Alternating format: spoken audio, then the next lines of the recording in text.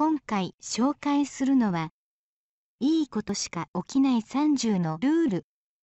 という本です。思い込みを捨ててありのままの自分を認めると、人生を変える、特別な人に出会える、どんな言葉を使うかによって、引き寄せる人生の選択肢が変わり、自分のために生きられる数多くのタレント有名人を絶望の淵から再生させたスピリチュアリストが伝えるしがらみを手放し幸運体質に変わるための30のルールもっと早く読めばよかった。文庫本になって価格が安くなったので先日購入し読みました。ああ高くても去年買うべきだったと後悔しました。去年はいろいろと大変で精神的にも落ち込み辛かった。その時に読んでいればあの辛さを半減できたかもとつくづく思います。カバンの中など身近なところにおいて何度も読み返したい本すごく読みやすかったです。あっという間に読める。内容と量です。こういう種類のものに興味があって